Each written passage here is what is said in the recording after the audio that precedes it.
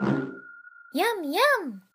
Floyd here with a quick look at adding reference images and Plasticity. Although you can import images using the import option in the main menu, I prefer to simply drag and drop the images into the viewport. Once imported, you can transform the images using the standard move, rotate, and scale tools.